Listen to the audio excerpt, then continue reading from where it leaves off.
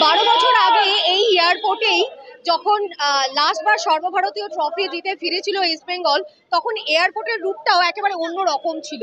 এই এয়ারপোর্টটা বদলে গেছে, কিন্তু বদলায়নি সমর্থকরা, বদলায়নি নিজের পছন্দের ক্লাবের সাফল্যে তাদের রেসিপ্রোকেশনটা এবং অবশ্যই সেটাই আমরা দেখতে পাচ্ছি, আজ কিন্তু এয়ারপোর্ট পুরোপুরি লাল হলুদ এবং আমার সাথে বহু সমর্থক এখানে রয়েছেন যারা এসেছেন নিজেদের প্রিয় ক্লাবকে ট্রফি সমেত তাদের ফুটবলারদের ক্লাবে নিয়ে যাওয়ার জন্য।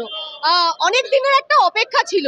আহ, আজ প্রথমত তো কেমন লাগছে এই অপেক্ষাটার পর? এটা পাওয়া কি আরও স্পেশাল ইসবল যা করেছে যা খেলছে সারা ভারতবর্ষ সারা ওয়ার্ল্ড তাকিয়ে দেখবে। এরপর দু তারিখ না তিন তারিখ ইসবল মন বানাচ্ছে ছাড়পো ধরবো আর টিপে টিপে মারবো। মারবো তিন গোল। ওটা উড়িষ্যা তিন গোল মারো দিতে হারাবো তিন গোল মারবো তিন গোল। তিন গোল মারবো তিন তারিখ। শনিবার তোদের কপালে শনি নাচছে আচ্ছা এবার তো এএফসি কাপ খেলার সুযোগ এসে গেল একটা দারুণ ভাবে সেটাও অনেক দিন পর। আহ, কতটা এক্সপেকটেশন এক্সপেকটেশন বলতে আমাদের স্যার চলে মানে পুরো ফর্মে আছেন কালুস কোয়াদ্রা স্যার উনি তো আমাদের কাছে আমরা বলে বুঝান এক্সপ্লেন করতে পারব না উনি আমাদের কাছে কি। কারণ যেই ক্লাবটাকে বারো বছর ধরে সবাই টিচ করে বেরিয়েছে অনেক মানে বিপক্ষে সমর্থকের কাছে অনেক কথা শুনেছি। আমরা একটা ছেলে বলুন, একটা মেয়ে বলুন যে সাপোর্ট করছি সেই ক্লাবে কি আছে। এবার কি আছে সেটা তো আমরা মুখে বলে বোঝাতে পারব না কি আছে। আবেগটা আমাদের ভিতর থেকে আসছে। আমরা কোনোভাবে মুখে বলতে পারব না যে কি আছে। কি নেই সেটা জিজ্ঞেস করলে হয়তো ভেবে দেখতে হবে যে কি নেই। কারণ সব যা চেয়েছি সব পেয়েছি। ইস্ট বেঙ্গলের কাছ থেকে মেন আমরা শিখতে পারছি ঘুরে দাঁড়ানো।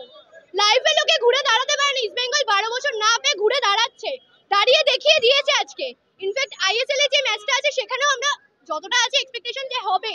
হতে বাধ্য, স্যার যেভাবে ট্রিট করছে, হতে বাধ্য। আর সব থেকে বড় কথা হচ্ছে আমাদের কলকাতার ফুটবল এগাচ্ছে।